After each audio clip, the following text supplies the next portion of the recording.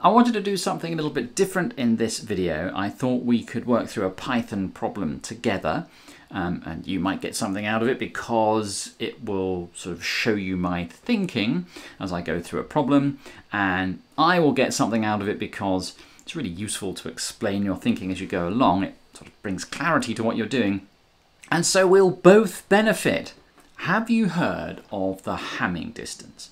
It's something that was named after the mathematician Richard Hamming, who I don't know much about, but he was a very influential figure in computer engineering, a mathematician, and definitely worth reading up on if you're interested in that kind of thing.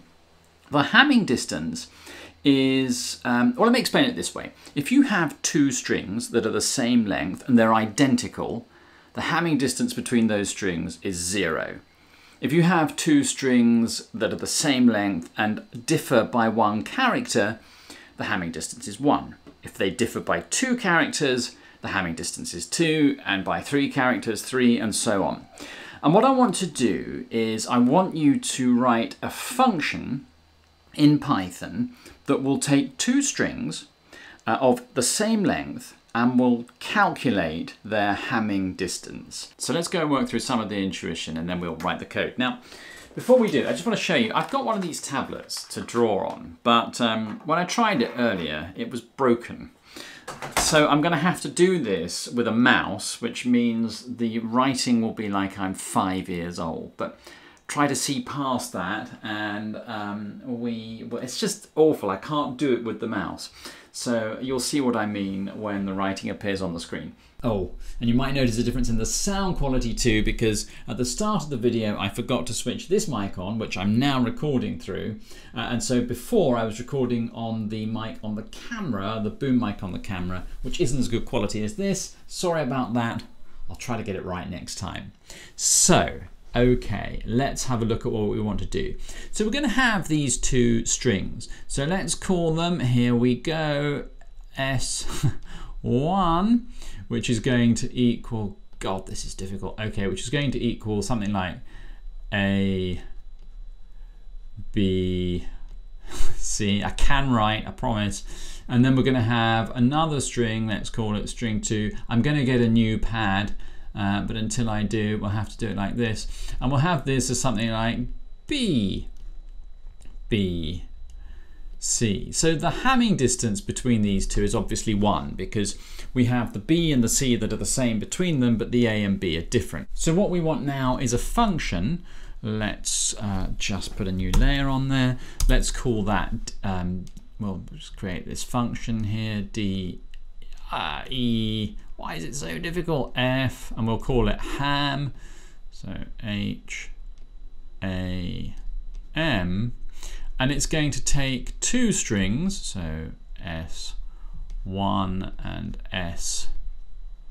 S2. And what do we want it to do? So what we wanted to do is we wanted to go through each string at the same time and compare the uh, each character in each string. So we want to compare character 0 with character 0, character 1 with character 1. And if they are equal, we want to return 0. And if they are different, then we want to increase the difference by 1.